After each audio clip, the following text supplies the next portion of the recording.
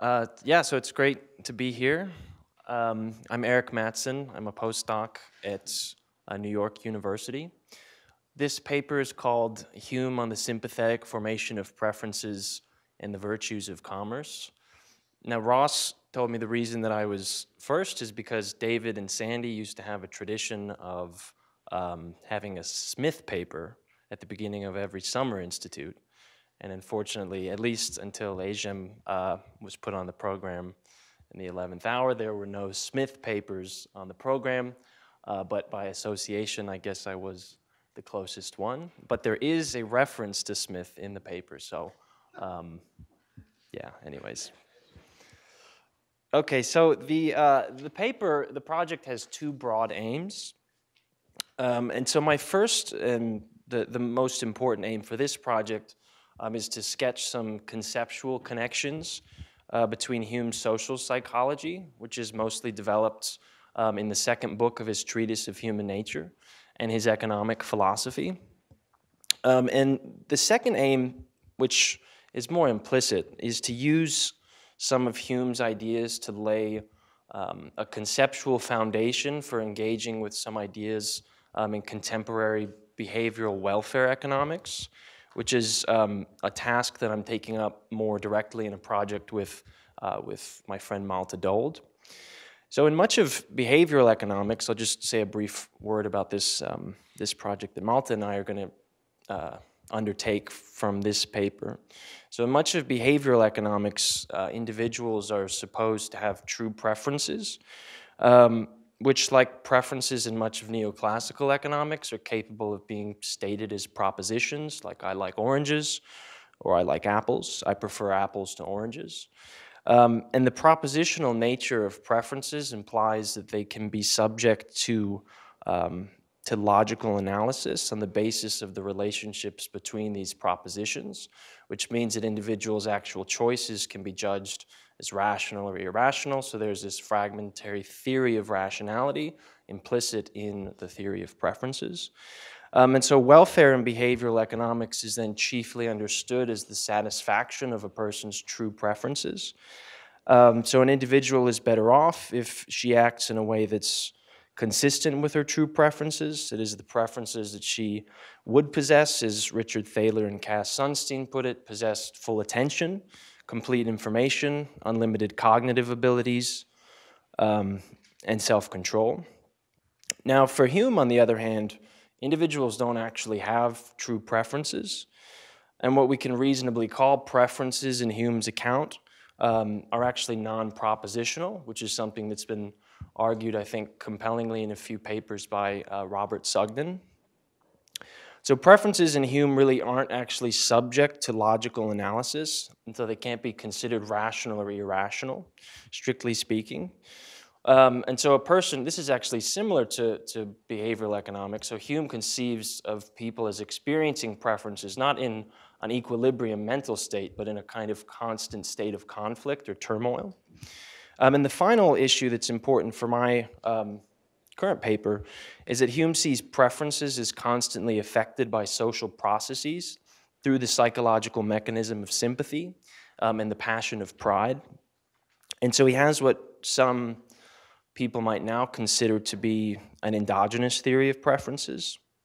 And so for this project, both as, as an historical and also as a conceptual matter, it's interesting to think how Hume's theory of preferences connects with his vision of commercial society and with his economic philosophy, broadly speaking. Um, so he has some very bold claims about commerce. So he claims that the ages of refinement, which is synonymous with the ages of commercial society, he says this age is both the happiest and the most virtuous. I mean, he's very upfront about this.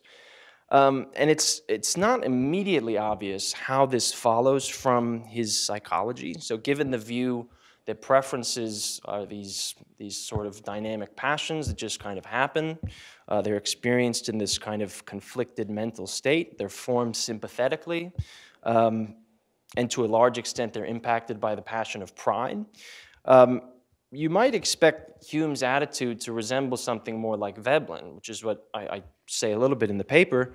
Um, and so he might see commerce to actually tend towards perpetual dissatisfaction and encourage this kind of hapless race towards the top of um, an endless sort of social ladder. Um, but Hume's view is quite different, I argue, in this paper, because in part he has a very different view of happiness or welfare.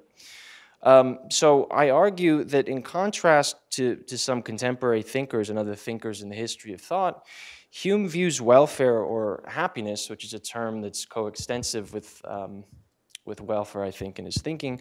Um, it's not a matter of, of attaining social status or riches. Um, it's actually not a matter chiefly of preference satisfaction as such, um, but it lies in satisfying our desire for purposeful activity, that is, in the process of pursuing one's preferences rather than in having one's preferences satisfied. Um, and so this is sort of the main point of, of the paper. So like I said, this particular project is more focused on the conceptual connections in Hume, um, but I thought it was worth noting some of these broader uh, conceptual connections at the outset. So for the rest of the talk, I'll basically just follow the outline um, of my paper and discuss Hume's theory of preferences, how I interpret his theory of preferences, um, and then I'll turn more directly to the conceptual relationship uh, between his view of preferences and his view of commercial society. Uh, so as I say in the paper, Hume doesn't actually have a, a, theory of preferences as such, in the sense that he doesn't use the word systematically in a way that maps over to contemporary decision theory. Um, and when he does speak of preferences, he refers sometimes to favored practices. Um, sometimes he refers to just a feeling-based comparison of ideas. But if we think about a theory of preferences in a broad sense as a theory um, of human action derived from desires and beliefs, um, it's quite clear that, that Hume has one.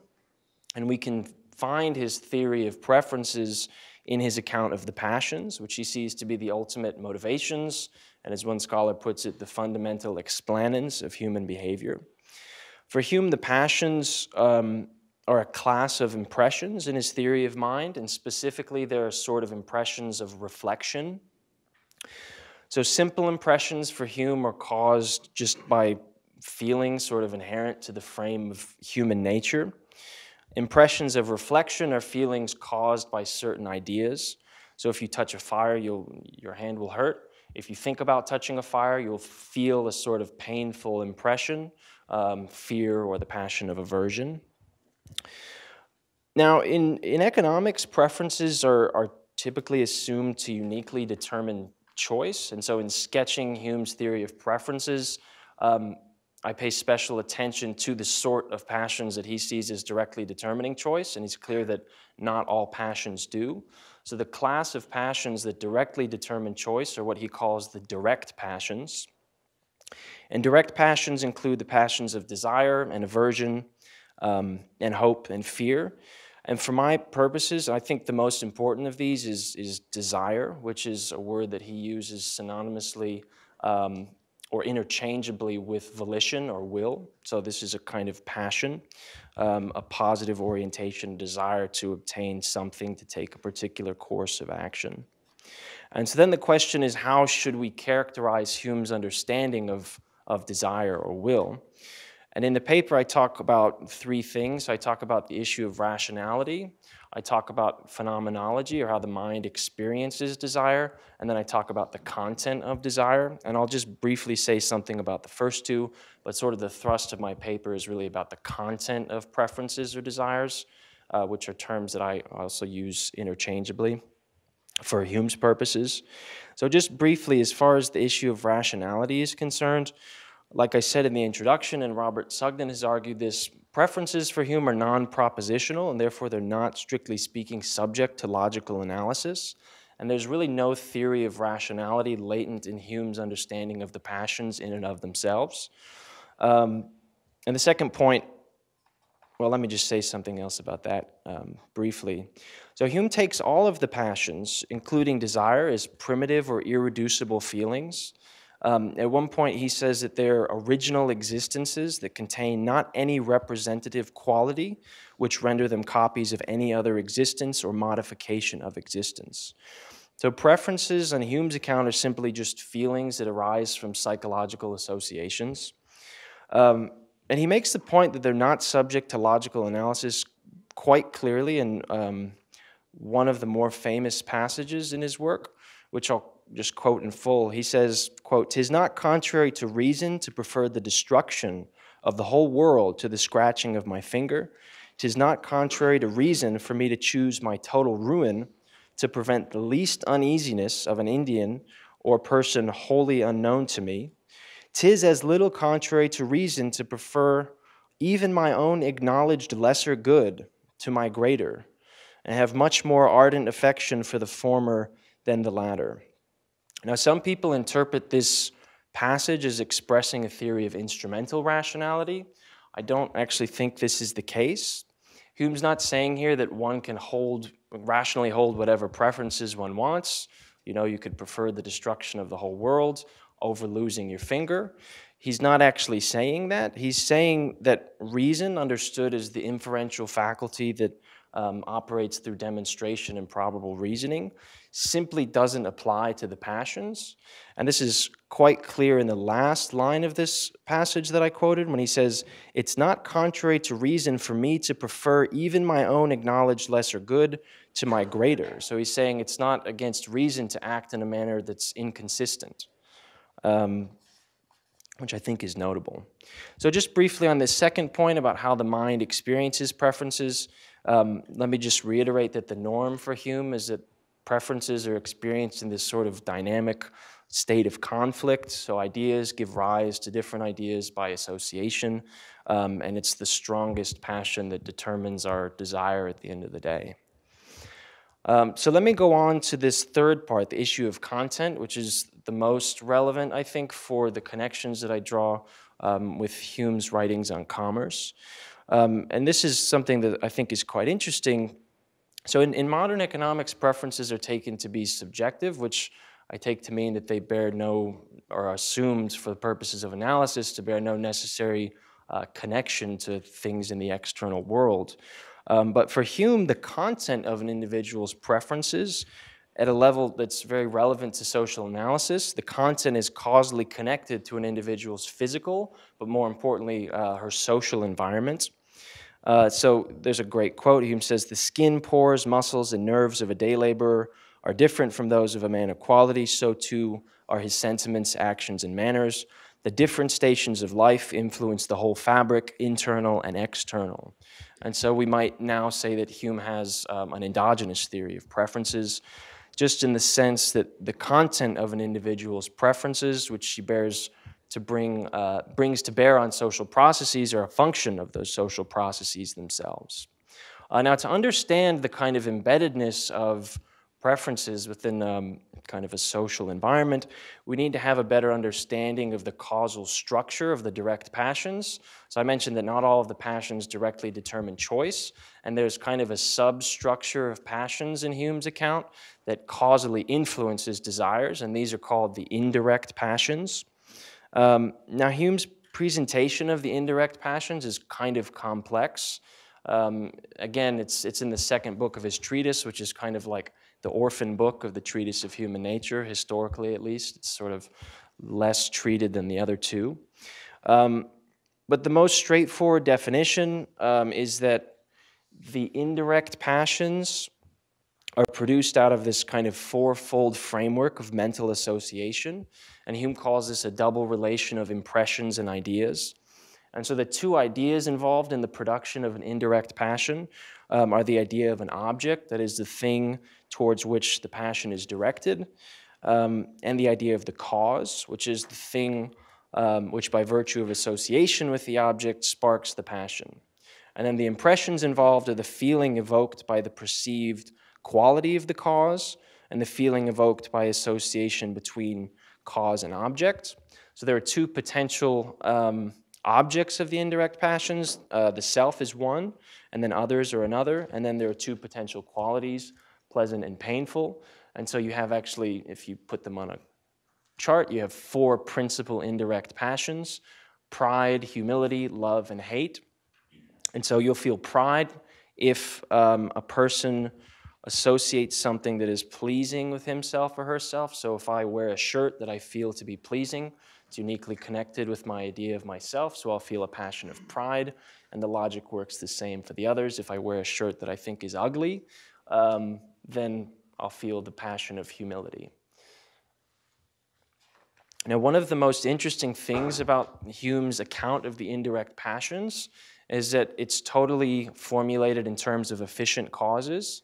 So he's kind of agnostic about what determines, in terms of human nature, the course of the indirect passions. Um, he writes that these causes are determined by art and arise partly from industry, partly from the caprice, and partly from the good fortune of men. And so the social embeddedness of the causes of the indirect passions represents a kind of plasticity that Hume perceives in human nature. But underneath this plasticity is really important to note um, is a universal mental framework instead of psychological processes uh, by which the particular path of the indirect passions is pinned down in time and place. And so there's a very important section in the treatise where he talks about the limitations to the causes of these passions in time and place. I talk about a number of them in the paper, but the most important one for, for present purposes um, is that for a thing to cause the indirect passion, let's just say of pride, which is the example, the passion that I think is most relevant.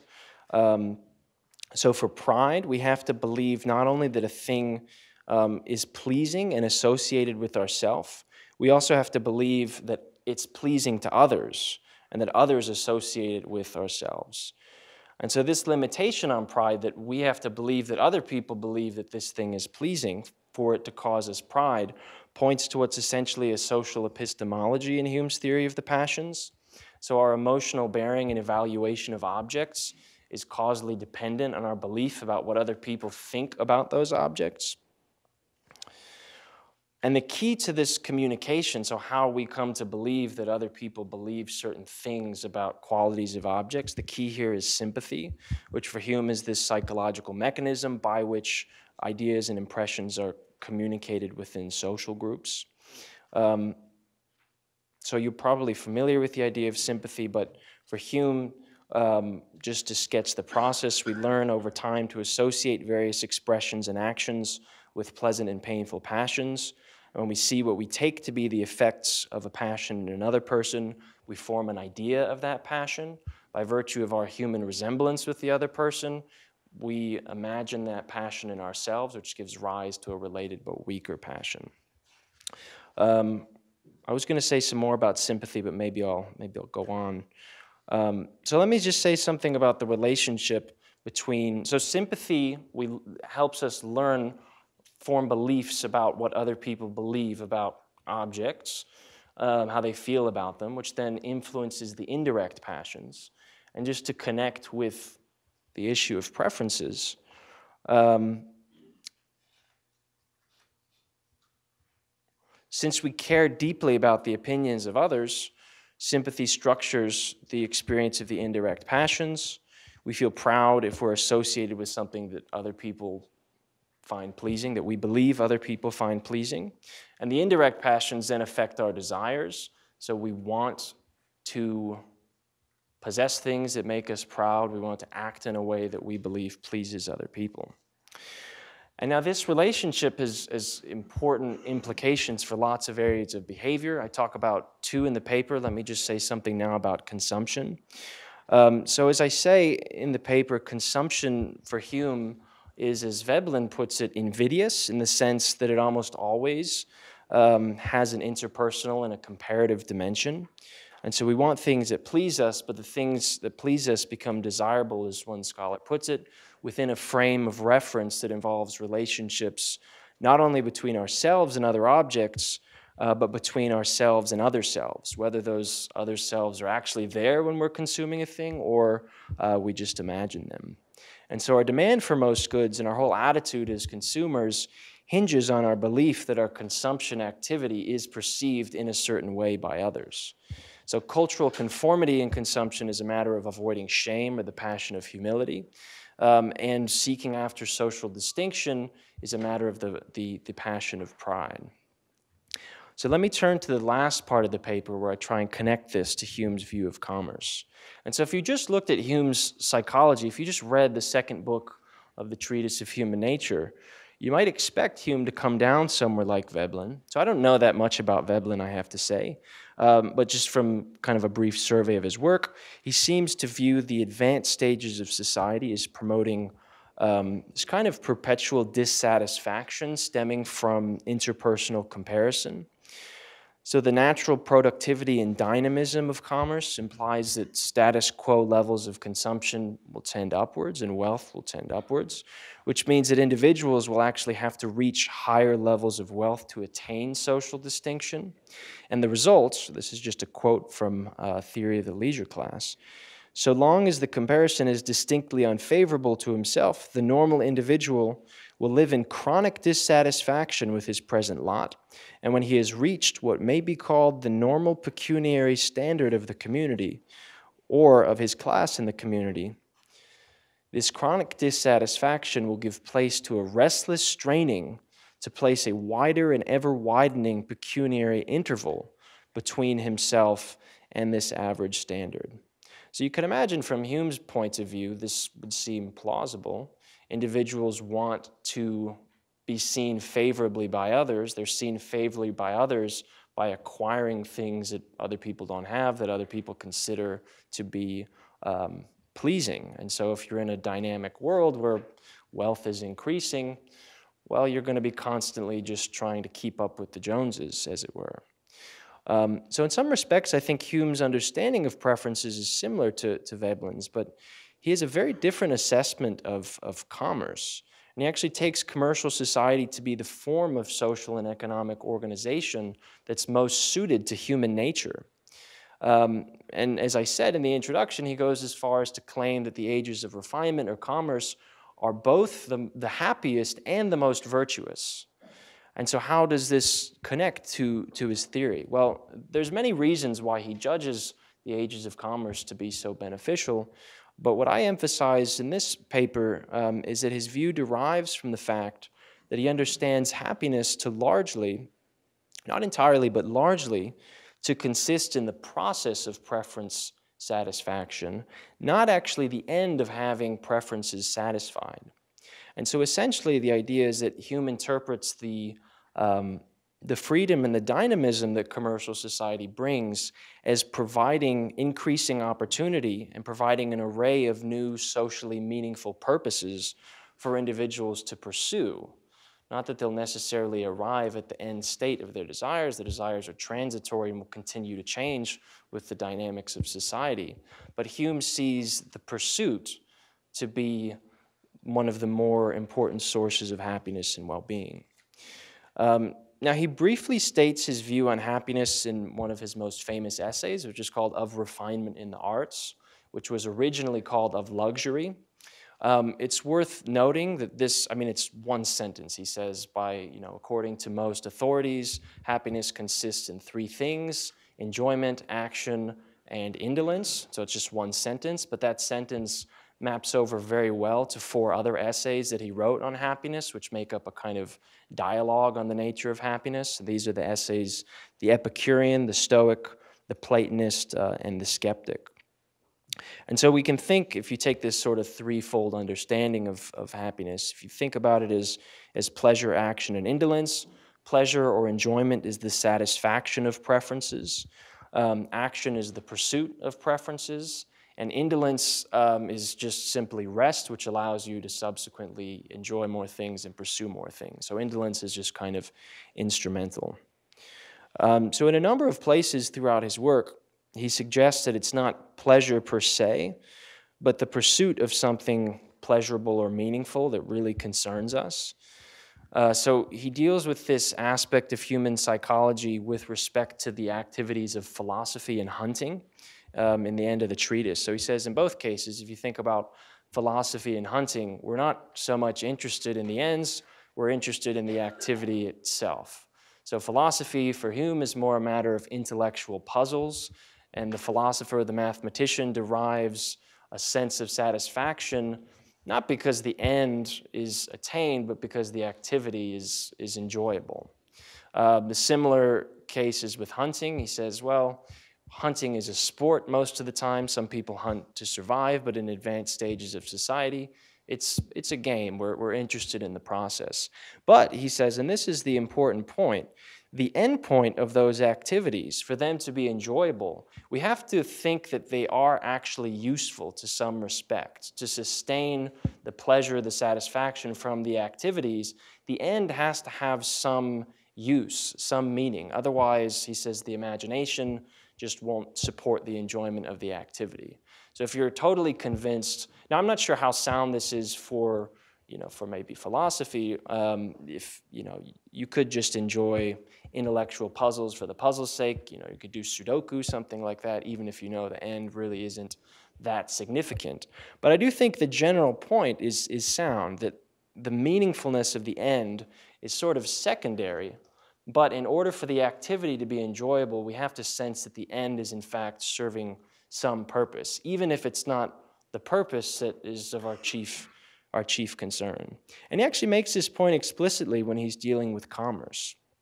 He says the desire for action, um, sorry, so this is a really famous passage where he talks about um, the desire for accumulation. This is something that Hirschman makes a big point out of in The Passions and the Interests. Um, this idea that the ages of commerce sort of subvert our violent passions and replace them with these kind of calm interests. Hume says here, quote, if the employment you give a man be lucrative, especially if the profit be attached to a particular exertion of industry, he has gained so often in his eye that he acquires by degrees a passion for it, and knows no such pleasure as that of seeing the daily increase of his fortune. But this passage comes immediately after his claim that there is no craving of the human mind more constant and insatiable than that for exercise and employments. And so, one way to interpret Hume's psychology of accumulation then is that individuals desire action towards meaningful, purposeful ends. Now, these purposes might be, well, this will bring me pride, this will bring me, you know, social distinction. But the pleasure is in the actual purpose itself. And he sees the desire for action an array of purposes to be uniquely presented and gratified um, in commercial enterprise. And so the ends of enterprise, which are fortune and social status on Hume's account, um, are important for fixing the imagination and conferring meaning onto people's pursuits. But for him, again, it's largely the process that, that brings people satisfaction. Now, there's also lots of support for this interpretation um, in his conjectural history uh, that spans his two essays of commerce and of refinement in the arts. Um, so let me just share one passage, then I'll, then I'll stop talking and uh, take some, some feedback. But Hume says, This is perhaps the chief advantage which arises from commerce with strangers. It rouses men from their indolence, and presenting the gayer and more opulent part of the nation with objects of luxury, which they never before dreamed of, raises in them a desire of a more splendid way of life than their ancestors uh, enjoyed. So that's the project as it, as it now stands, and thanks for your attention. I look forward to your feedback.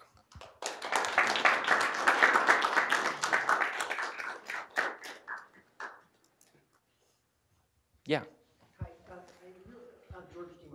Eric, I really enjoyed this paper. It's beautifully argued, beautifully written. Um, so thank you. I learned a lot. Thanks. It's um, you, you, you keep your distance you, you do a lovely job explicating. You kind of keep your distance from telling us where you think he's got it right and where he's got it wrong. Mm. And I wonder if that's because it's really easy to read this paper with Hume as an apologist for exploitation. Mm. Here's what I have in mind. First, um, he's making the argument that commerce is prefer- commercial society is preferable not just to this or that particular society, but to all imaginable form, alternative forms, all non-commercial societies. Mm. Now, how the hell could you possibly sustain that argument? Veblen does better. Veblen says commercial society is worse than some other possible societies. Mm. That's a plausible argument. But the argument that I, you, see that is that, that it's, it's better than all Mm-hmm. That's a strong statement. And so I was looking in here to see, okay, then how is commercial society defined? So that we could start to wrap our minds around whether, in fact, um, that is the case. And I don't see it here, so it's hard to then know what non-commercial society is. What are the features of, commer- uh, are, for example, are there any features of commercial society that are key that could be carried over into non-commercial society, such that we might have a prol- proliferation of societies that achieve what Yeah, yeah. The second point, which is related, and I'll stop. The- Under this analysis, the participants in the Hunger Games, you know, the people who were thrown in, the gladiators thrown into the arena, Mhm. should be really, really happy. Because they are striving, Mhm. they're gonna lose, but that doesn't matter. The fact Yeah, is, yeah. There's something really important at stake, their lives, and the, they should be thrilled to be put into the Mm-hmm. arena where they get to strive, Yeah, yeah. and, and that can't be right. Right, right. Yeah, those are great, great comments. Maybe I'll just say something about the second first. Yeah, so the Hunger Games participants are not happy. Um, Hume, I think, would say they're miserable. This is uh, so maybe I overemphasize the point in the paper, but welfare, happiness is not just about purpose and activity. It's just an important component. So he says there's, you know, there's enjoyment. So he does say that that enjoyment, that you know, enjoying goods is, an important part of happiness, just as activity is. Um, tranquility, peace, and security; these things are also important. So I didn't want. Maybe I, I should back off on this or, or elaborate in the paper that it's not all about it's not all about purpose. That's that's that's not the entire story. Um, yeah, it's not all about striving. It's, it might be necessary, but it's certainly not sufficient. And so in the Hunger Games, yeah, you could say, well, if people are really well off just by striving, we could, you know, put them in this appalling, you know, situation, and they'd be great. So, so thank you. I'll, I'll clarify that. Yeah, as far as the, the first point, this is a good this is a good question. I've thought about this some. So what Hume is saying, and maybe I also need to backpedal here. I think Hume's claim is somewhat less universal. So I think he's saying in England, the historical progression, commerce is the age that's happiest and most virtuous. And there's certain features of his analysis of commercial society that are more universal. Uh, so he sees the extension of property rights and liberty and security, these institutional features that I think are important to his idea of commercial society. And so that is more universal. Um, but it is a historically embedded claim that he's making. Um, and I, I need to articulate that a little better as well. Let's say Native American culture, pre-commercial, Yeah, only at English history. yeah. Yeah, I mean, I think he would say, and he does say things along these lines, that commercial society, as is expressed in advanced European societies, 18th century European societies, is better than, you know, he calls it savage culture, Native American culture. Um, but I'm not sure he wants to, yeah, I, I'm not sure how far that goes in terms of planning societies or, or mapping over to, to other parts of the world. But uh, yeah, thank you. Just, I mean, just on that. Yes. I think that his, his epistemology commits him to not saying anything about the societies that he's not familiar with, right? So I mean, if he's gonna be consistent, he's just gonna be agnostic. It's not. It's not. There's not a lot of power looking forwards. It's more in in terms of history and viewing history and empirical evidence. Um, that's sort of the basis for the claim. So if, if we're trying to justify the commercial society, and perhaps, I don't know if he is trying to make an argument that is better than all others, then we can ask ourselves what is peculiar about commercial society is that it allows for reconciliation of, uh, of competing ends through exchange relations. And I think that it- there might be an error either in the way that I'm reading it or perhaps in your argument here when, when Hume is talking about the formation of preferences or how you articulate it. Uh, you say that the, the strongest passion wins. Um, is, I don't know if that's necessarily in Hume or not, but perhaps it's not. Perhaps the, the, the passions come to a consensus with one another. So it's not necessarily a zero-sum game, but that there's an internal exchange process within the way that we think about our different preferences mm-hmm. so that we can achieve a consensus. If that's something that's true about human nature, that, that our passions have this reconciling element in them, then the commercial society is reflective of human nature. Mm-hmm. And so therefore, it could be one way for Hume to argue that it is the best of all possible societies. Mm-hmm. Yeah, that's an interesting point. As far as Hume's psychology is concerned, I don't see a lot of evidence that passions reach some kind of equilibrium or have any kind of communication. It's more just the strongest passions triggered in a particular circumstance will win out. Now, you have to take strength kind of broadly. So, there's different sorts of strength. So, there's violent passions and calm passions. Hume makes that distinction. So, a violent passion could be you know, anger or something like that. A calm passion could be greed or interest.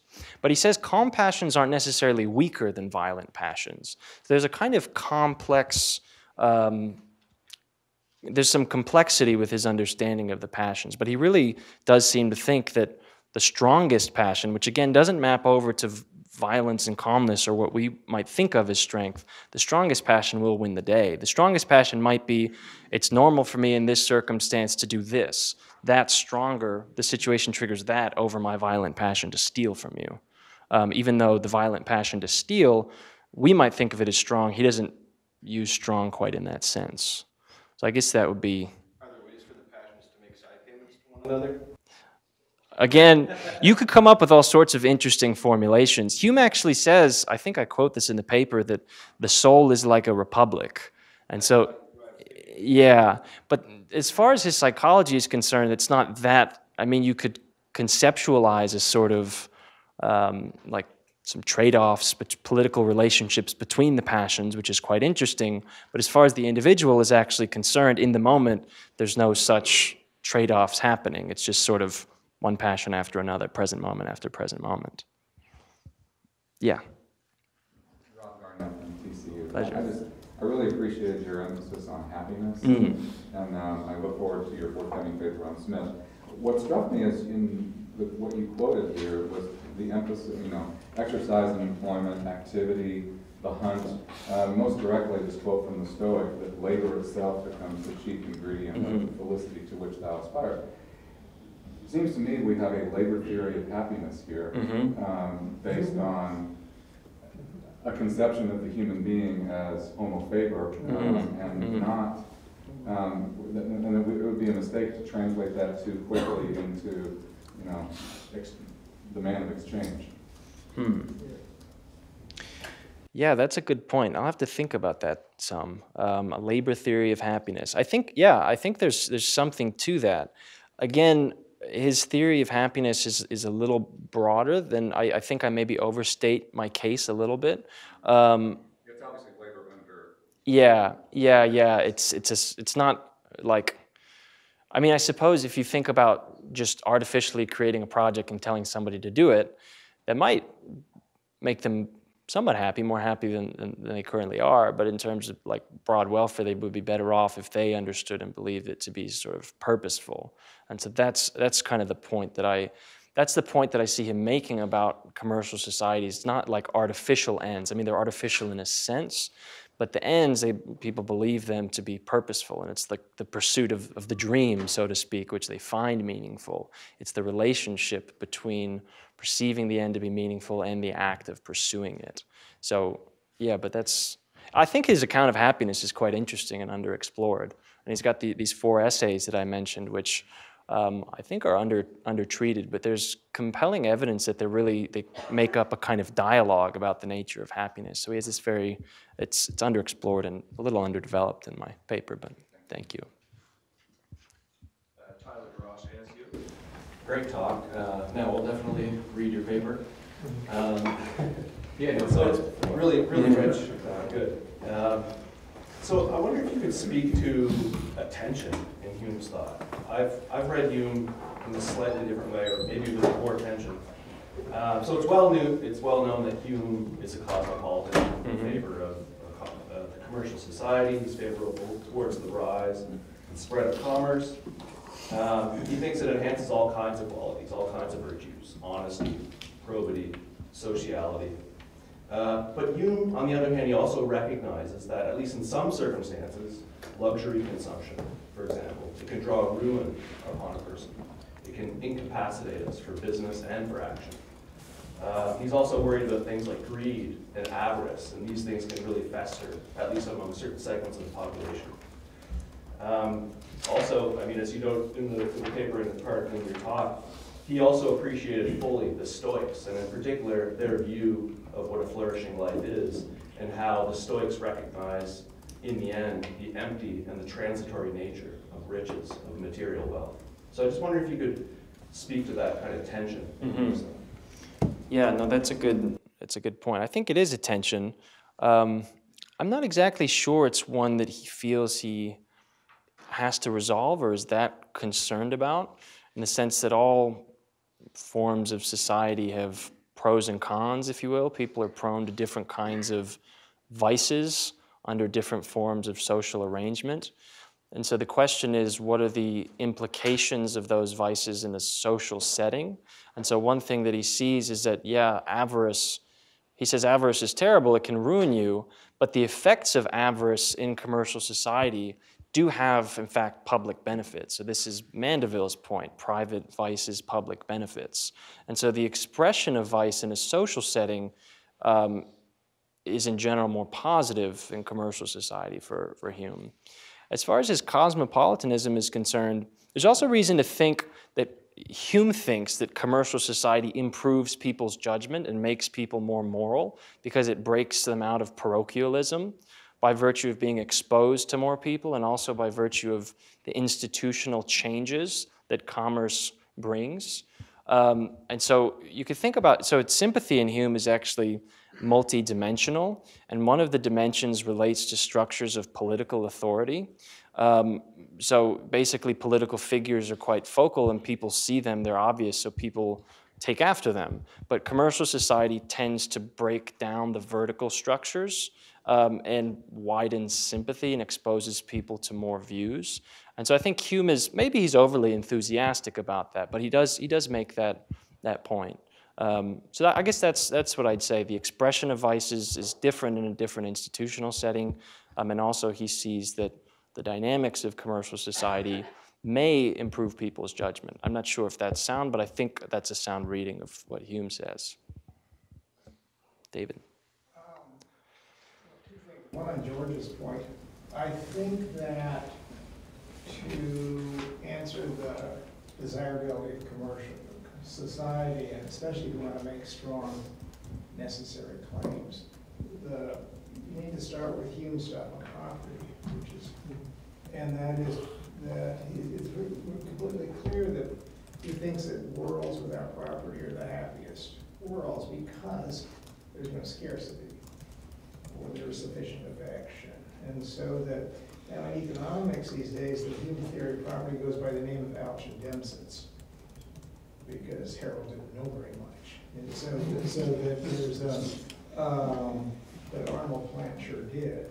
And, and so that that's where the, that, and so there's a strong necessary claim there, is that without sufficient affection, without abundance, it's necessary, get property. And so I think things flow from that. And so those are gonna be, that's where the strong stuff is. Mhm. And on, on, on the, on the question, on, on the question about the sort of the, um, um, the, the striving as a necessary for happiness, I think the, the text, the, the first we want to read there is Ferguson. Mm-hmm. It's absolutely clear that striving is necessary for, for, for happiness. After we satisfy our difficulties, we're going to create our difficulties again so we can strive again. And so, and then what sort of, and then your reaction, I read it a long, long time ago. But It never really occurred to me until this moment that, golly, he's the only one of that group who was fluent Gaelic. Nobody, nobody else in the Scottish group knew Gaelic. And uh, and so Ferguson was a chaplain of the Black Watch. So there's, and Ferguson has an interesting position on the Ossian debate. So there may be something, something in the, in that group where there is a position that striving is maybe the same as happiness. Hmm. And, and, and so, and so the, you and then scholars have done Ferguson, Hume all the time, and so there's lots and lots of, and I don't think Ferguson was bad about writing letters as Smith was, so there may be, there, there may be correspondence and so about that. So that may be the, the place you tease that, tease that out in that, in that interrelation. Do you know where in Ferguson he talks about striving offhand? Oh, yeah, it just, it's just sort of, he talks about we, you know, we, we establish, we, we attain our goal. We, we, we attain our goal, and then what's the next thing we do is we want to create new difficulties. Mm. And there's a, there's a, there's a great old weird saying, a fantasy book by Edding, is Eddington? Where it's exactly the same thing, after we satisfies our goals, we gotta create movements, because we're gonna sit around and be bored. And so that we need, and, you know, Frank and I used to quote that sort of thing in, um, from Plutarch, right? Then, yeah. Yeah. okay. Yeah, that's Ross- good. Ross will have the exact Yeah, okay, okay. Yeah, one other thing that I'll say about um, the, the, the property issue, and this is clear in Hume's essay um, of refinement in the arts, which some people view as kind of like a synopsis of the third volume of his History of England. He sees that uh, commercial activity, that luxury actually ends up creating a new class in society and extending property rights. And this is one of the reasons, like in some sense, society becomes more egalitarian and it also extends property rights and security. And so that's an important institutional feature of the story. Maria. On, on David's last point, uh, there's a question either for you or Ross. How does Hume differ from Knight uh, idea of striving for striving's sake as opposed to satisfaction, uh, with Yeah. satisfaction when you, when you achieve the goals? Mm-hmm. Another clarification on humility. Um, what is the relationship between humility and shame? I think humility is shame for Hume. So he uses the word, I think I have a footnote in the paper. He uses these words in sort of different senses than we normally take them now, and also than people took them in the 18th century. I think part of this was his um, anti Christian bent, so making a big deal about pride as a virtue and humility as a vice. Whereas he calls it one of the monkish virtues in his second inquiries. These useless monkish virtues, we don't need this. Whereas in the, the classical Christian tradition, humility, of course, is a virtue, and pride is foremost among the vices. But for Hume, a healthy pride is essential to the virtuous life. Um, as far as the relationship between Hume and Knight, that's something I've, I've thought about. I don't know Knight that well, I have to say. Um, my answer would be that they're quite close, but for Hume, the individual, it's less aspirational and more socially em- embedded. Uh, so what you want is not, there's this less of a sense of kind of aspiring in this beautiful aesthetic way to become this kind of uh, great, you know, to, to construct oneself. It's more like the self is being constructed by people around. But there is also this sense, Hume talks about, he says, your, your sense of community can also come from literature and from other philosophers. So, in that sense, it can be kind of ideal. Like your sense of greatness doesn't have to come, you can sort of transcend what your community thinks is good and what you think would bring you pride among your community and say, well, I have a broader sort of spiritual idealized community. That's how I would, I would answer. I don't know how that mm, maps up with, with what you think, Ross, but. Yes. Uh, Yeah, thank you so much for your talk. Uh, I just, uh, this is more a clarification than anything else, so could you maybe say something about how this squares, uh, this sympathetic formational preferences uh, with uh, Hume's notion of causality? Uh, Mm-hmm. In the sense that I s- think there might be some attention there. Uh, In the sense that saying that something causes something is a tension with Hume's idea that. But with this way of thinking of how preferences are formed. Mm, what's the tension? Uh, well, of, I mean, he's an empiricist, right? And, Mhm. and for him, the idea of cause was basically in our minds that we would only be, we would, not be able to see causes. Was just the way Mhm. in which we uh, deal with constant conjunction Yeah. and so forth. Yeah, yeah. So, so, so this, this notion or this psychology somehow uh, seems to me, yeah, to be in, in, in, in tension at least uh, with that view of causality that he had. Yeah, so that's a, kind of a broad question. It's more about the relationship of Hume's entire scientific project with his views of causality in, in book one of the treatise. The way that I think about it, I think this is well, I think it's right because it's the way I think about it, um, is Hume sort of lays out this, this account of causation and says, well, you know, at the end of the day, causation is just something in the mind that we impose on the world. We don't actually discover final causal relationships. This leads him to this dialectic of skepticism. At the end of the Treatise of Human Nature, the, the book one, this kind of leads him to this existential crisis. He comes back from this and says, Well, I have to sort of immerse myself in the common world. And yes, we don't actually understand final causation, but we still use the language of causation in our analysis. And he uses causation throughout his work in this, in this sense. So um, I think he finds this empirically supported by his observations.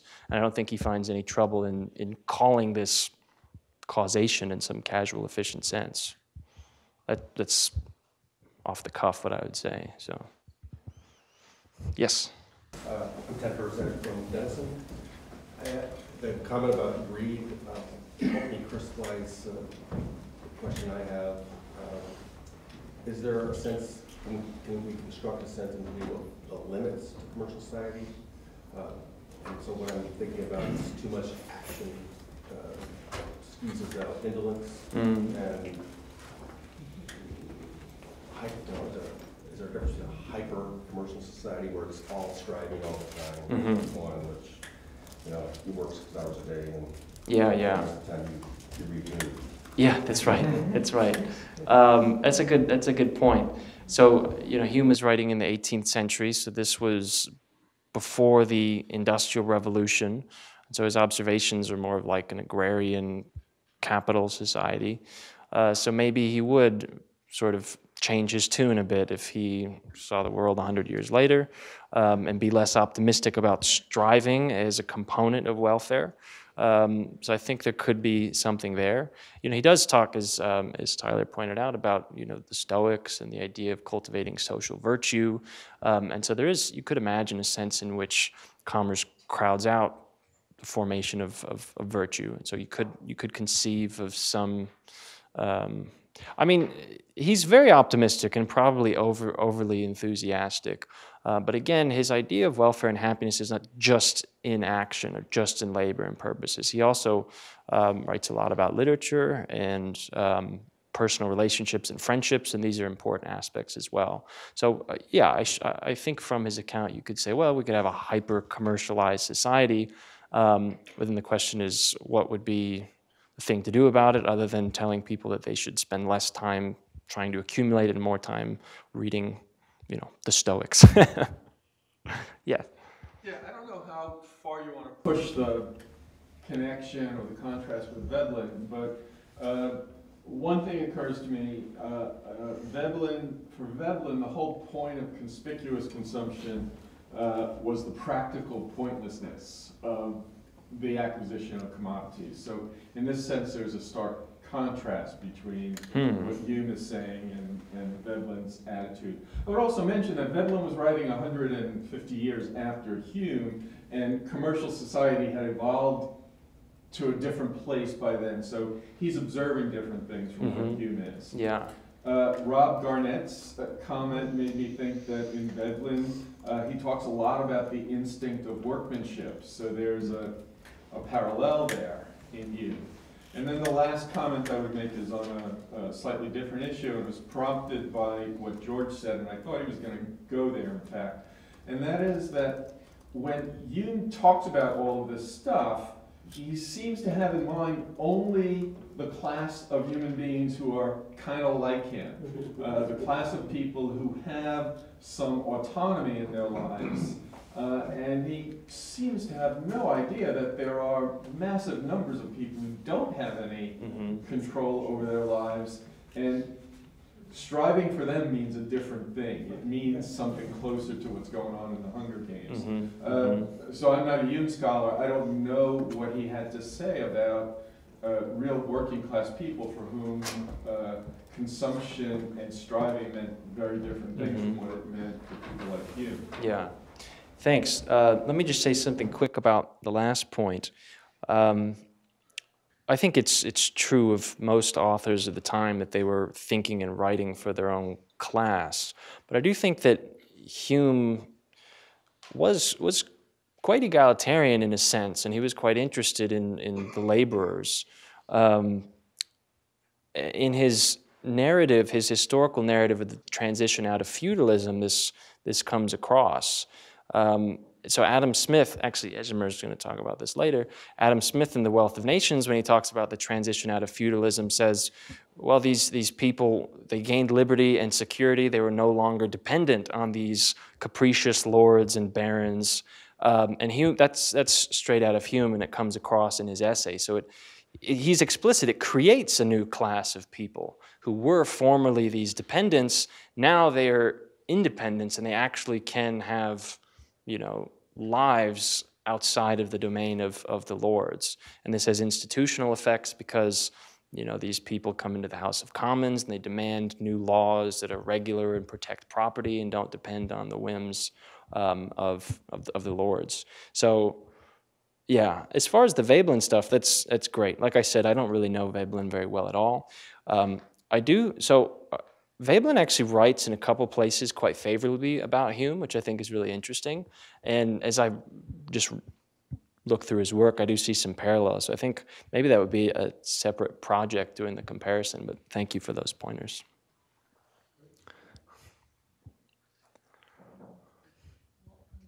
Thank you. Um, maybe we can think also about uh, Hume's optimism about commercial society as somewhat backward looking. I mean, because when he, it's when he observes, he tries to identify general causes of about commerce when he is most optimistic about commerce, uh, about how commerce brought about liberty and virtues, individuals and everything. But when we look at his political essays, political essays, or I mean, most of them are political, and, and his history of England, we see how he's anxious about what's going on in England, and that's the most, that's the society that's most progressed. I mean, he's really, he really thinks that it can be like Roman Empire because of all this territorial expansion, and I mean, there is, it's, it's the commercial society, with, it's, it's the model of commercial society. So I think there's this, I don't know, but like it can be like backward looking and forward looking. I don't think forward looking, he's not, he's not that optimistic mm -hmm. About I think that's a great point, and I think that's that's right. That he is a little bit concerned and pessimistic about things that are going on in his day in the political scene, looking forwards.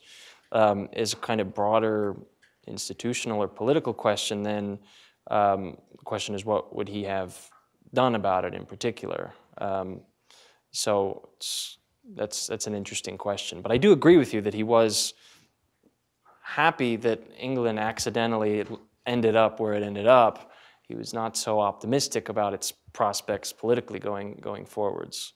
Um, that's a good point. I need to think about that some more. Yeah, so how does learning enter the picture there in the formation of preferences? So how do you update your preferences in light of the consequences of your choice? So there should be like some feedback. Yeah, that's a good point. I think there's a few feedback loops here actually. Um, there's a feedback, I think all of these actually have feedback loops, so uh, that's a good point. I mean, there's a feedback loop between the indirect passions and sympathy, um, which is which also relates to choice. So you do something, um, you see people react in a certain way. This either confirms uh, by sympathy, by observing what people do, uh, that your desires, in fact, had uh, some kind of warrant in other people's opinions or not. So I do need to add some loops. I didn't want to make the picture too complicated, but it is, uh, they're all sort of like integrated. That's, uh, yeah, but there could be many loops there. What is his opinion? His opinion, well, uh, for one, sympathy sustains pride, um, and choice actually leads back to sympathy as well because when you do something, it elicits an emotional response from another person, and you sympathize with that emotional response, which then informs your experience of the passion of, of pride. Um,